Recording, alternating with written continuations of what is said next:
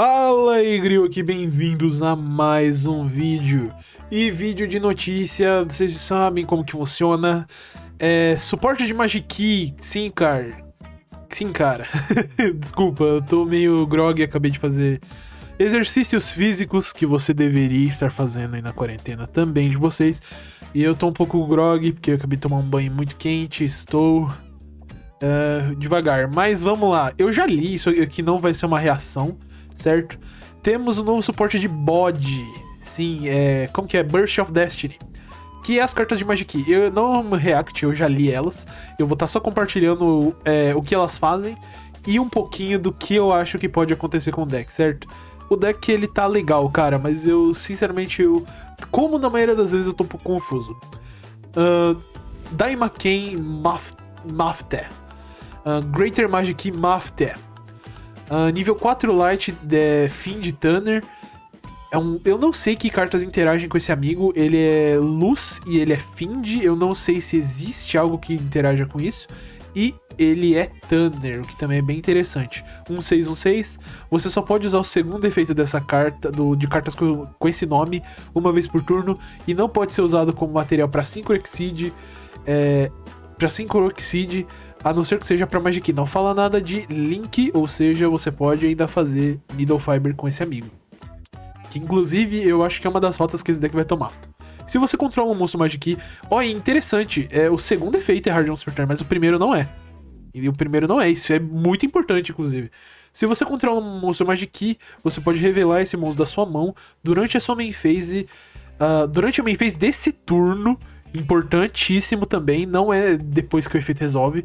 Você pode dar normal summon de um Magic monstro em adição à sua normal summon é, ou set. Tu só pode aplicar esse efeito once per. Ah, tá, não, é once per turn, sim. Ah, mas não é hard once per turn, né? Então se você tiver dois dele, você. É, é isso? Nossa, cara, eu tô, tô meio grog. É isso? É uma vez por turno. Mas não fala que cartas com esse nome. Eu acho que pode, cara. Se você tiver dois dele, acho que, você pode, que pode. Pessoal que entende mais de, te de texto de carta aí, me explica que eu sou completamente amador. Ou seja, ele é um extender, ele é um normal sumo a mais, e quando ele é normal sumo, você pode é, dar alvo de um nível 4 ou menor normal monstro, ou um Magic no seu grave da Special. Eu não sei com que cartas isso aqui interage, sendo bem sincero. É, porque. Que cartas. É, os decks de normal monster que eu consegui pensar é Gladiator Beast, que usa lá o Rescue Habit, mas não tem como isso aqui virar Extender, porque não tem Magic, obviamente. Uh, que mais? Tem Metal Falls e o próprio, obviamente, Magic que roda em torno daquele Magic nível 4 lá que eu falei para vocês. Que eu mostrei no vídeo anterior é, falando do lançamento de Dawn of Majesty, né? É Dawn of Majesty que saiu? É, né? Dawn of Majesty. Então, cara. Pera, não, é de, é de Liov? Ah, não, que de Liov, é Majesty mesmo. Uh, tô completamente maluco. Mas, cara, é um extender. É um extender e, e, é versátil, né? Não precisa ser. A normal summon não precisa necessariamente ser ele. Porém, até o momento, se eu não me engano, só tem. De main deck só tem ele e o próprio bichinho normal. Então não sei o quão relevante pode ser. E ganharam um 5. Cara, que inclusive as artes desse arquétipo estão maravilhosas, cara. Literalmente é, é meio que um, um, deck de Aleister novo que você tem. Tu tem uh, o bichinho principal Aí tem esse amigo aqui que é a pistola espiritual dele aí, e esses bichos que ele vira, mas enfim. Uh, Hank Transformine. Magic Mutated Ogre Transformine. Nível 8, Fogo Thunder. Fogo Thunder. Engraçado. Ataque 28, defesa 28. Materiais, um Magic Tanner, ou seja, tu só pode usar o ritual nível 4 ou o, esse bicho que a gente acabou de ver e não, e não Tanner Normal Monsters, ou seja, é, ele é muitíssimo fechado pro arquétipo. É bem fechadinho no arquétipo. Tu só pode usar o segundo e o terceiro efeito dessa carta, de cartas com esse nome uma vez por turno. O efeito 1, se essa, essa carta pode fazer até dois ataques em monstros durante a Battle Phase. Ok, legal. Durante a sua main phase, se você controla essa carta sincro, summonada usando monstros com dois ou, é, ou, ou, mais materiais de atributos diferentes, você pode setar uma Magic Spell Trap direto do seu deck para sua Spell Trap Zone. O que, que é legal, cara? O legal desse amigo aqui é a mesma coisa que eu acho forte na Galatea do Orkust. É que leva muita pouca interação. Leva interações tipo Veiler, Impermanence e. E interações de negação diretamente. Falando de Hand Trap, a única interação que você leva é Gama. São essas duas e Gama. Então é muito bom, cara, o fato de não levar Ash. E é legal porque isso aqui busca a principal carta do deck, né? Que é a, a pistola, que é tanto Fusion Spell quanto Ritual Spell. Se o seu oponente dá normal summon special de um monstro com o mesmo atributo que monstros que você tem no seu grave, você pode destruir aquele monstro. Isso aqui é outra coisa que eu adorei nesse bicho, cara. Ele me lembra muito a Galatea, porque é, ele gera recurso e é interação ao mesmo tempo. A Galatea ela não faz é, exatamente a mesma coisa. Não, na verdade a Galatea faz exatamente a mesma coisa. Porque a Galatea seta as Spell Repercust e em cima dela tu faz o Dingirso, que é reciclagem de recurso, né? Então é, é quase que a mesma coisa. Ele me lembra bastante a Galatea. Só que ele é, eu acho ele um pouquinho melhor, talvez. Porque ele é a interação sozinho, né? Você não precisa fazer nenhuma jogada por cima. Já a Galatea, ela só é interação é, se o efeito dela passa e se e ela só é follow se você faz o Dingirsu por cima, né? Então. Mas a Galatea, ela, ela recicla recurso, né? Esse amigo não. É, diferenças, mas assim, similaridades, né? Esse bicho aqui é muito bom, eu gostei pra caramba dele. E é bom, e eu gostei muito deles terem amarrado ele no arquétipo. Certo? Eu, eu, a Konami tá acertando um pouquinho no design desse deck, eu tô gostando. Agora a gente tem o bicho de água. Cara, vê se não é o Aleister, mano. Esse amigo é o Aleister, velho. Esse amigo aqui é literalmente o Aleister. Maken Hyorei Waparto. Magic Possessed Spirit Wiparto. Rank 4 Sea Serpent 2000 2000 2 nível 4. Esse já, aqui já é genérico, mas vocês vão entender por quê.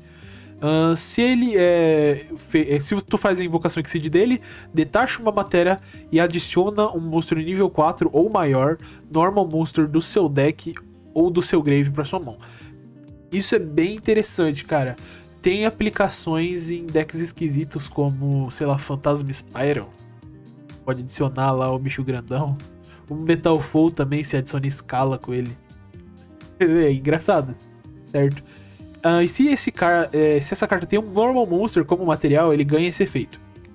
No início da etapa de dano, se essa carta batalha o monstro do oponente com o mesmo atributo que o monstro normal é, ou e ou Magic que você tem no seu grave, você pode detachar uma matéria dessa carta e faz com que o seu oponente envie o monstro que ele tá batalhando é, pro grave.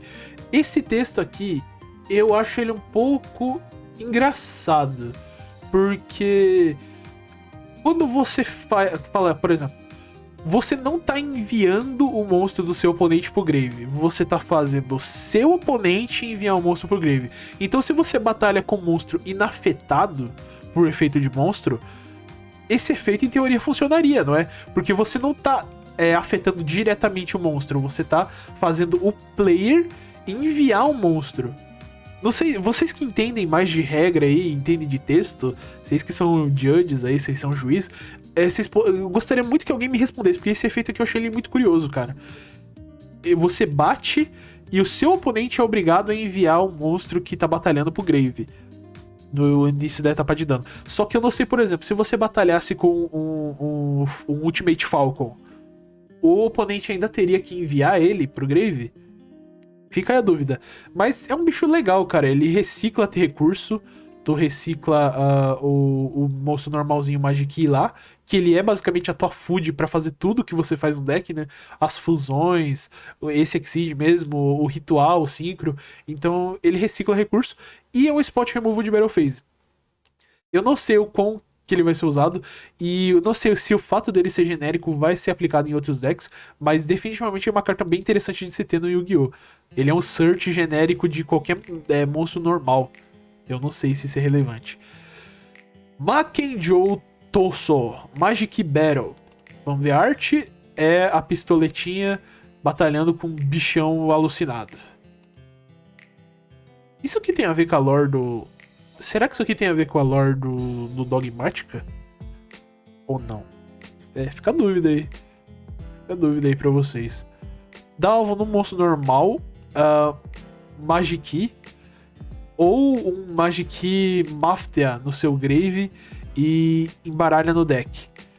Então, se você ativou essa carta em resposta à ativação de uma carta ou efeito, uh, efeito uh, monstros normais não tokens e monstros Magic que você controla estão inafetados por efeitos do oponente. Eu não sei. É, eu não lembro, cara, o quão relevante isso aí. Eu sei que o, o ritual ele é um negate, o ritual grande, né? O canhão maluco lá. Ele é um negate com uma bunda gigantesca, se não me engano, ele tem 2,8 de defesa. Então, deixar ele inafetado por coisa, eu não sei o quão relevante pode ser.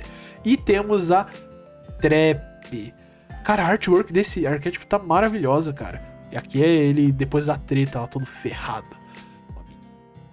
Certo? Nosso Nova Leicester. Nova Leicester. Makenjo Lock. Magic Locking Lock. Tribute um monstro normal no token ou Magic e dê alvo em dois Normal Monsters ou Magic do seu Grave, cujo nível total seja 8 ou menor, dê Special deles em defesa. Então aplique um desses efeitos. Imediatamente depois que se resolver, dê Synchro Summon ou imediatamente dê Exceed Summon. Caraca, isso aqui vai virar padrão? Será que a Konami vai fazer a gente jogar no turno do oponente desse jeito em mais decks? Que o Tri-Brigade ele já trabalha isso. O que me leva a acreditar que talvez, inclusive, isso aqui realmente seja lore do Tri-Brigade com Dogmática, né? Talvez é, junte a historinha desse amigo aqui com, com a historinha do Albus, da Eclésia lá. Mas enfim, cara, as cartas são interessantes. Eu gostei muito desse Synchro. Sério, esse Synchro aqui é uma carta excelente para arquétipo, né? A toque é uma Ultra. é, é uma carta excelente, eu quero muito ver o que, que, vai acontecer. Principalmente, cara, se esse Synchro fosse genérico, ia ser muito forte. Porque ele ia poder citar o campo. E o campo ele é um plus 2, se eu não me engano. Porque ele busca um monstro Magic pro deck e tu pode voltar uma carta uma carta é, da mão pro deck e, e, é buscar a pistolinha, né? Que é a Ritual Spell barra Fusion Spell. Então o campo desse deck é simplesmente absurdo.